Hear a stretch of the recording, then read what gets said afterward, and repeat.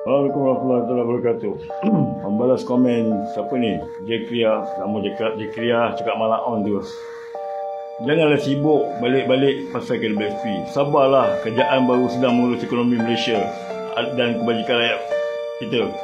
Apa punya tak sekolah punya idea lah kau cakap dengan aku ni. Allah Ta'ala beri kau akal fikiran ya, tapi ya kau tak erti nak menggunakannya. Nak menguruskan ekonomi dengan rakyat yang kelaparan. Mana sama?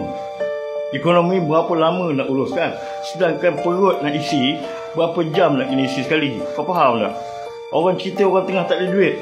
Nak tunggu ekonomi nak pulih, berapa orang yang boleh hidupnya kalau ber, kalau berlawan dengan kelaparan?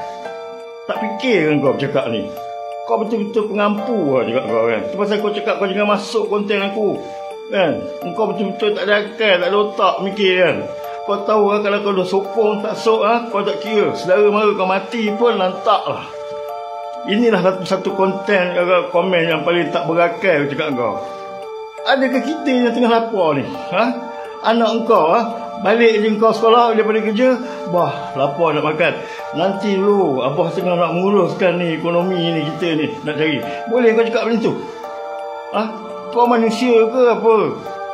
Hati kau ni hati apa? Hati binatang ke? Hati ayam ke? Hati tak bertelur? Cuba kena atas batu hidung kau sendiri. Itu pasal kadang aku marah kan? Bila kau nak compare kan ha? ekonomi dengan perut orang hari ni nak makan.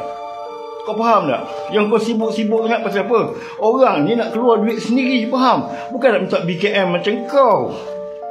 Kau faham tak?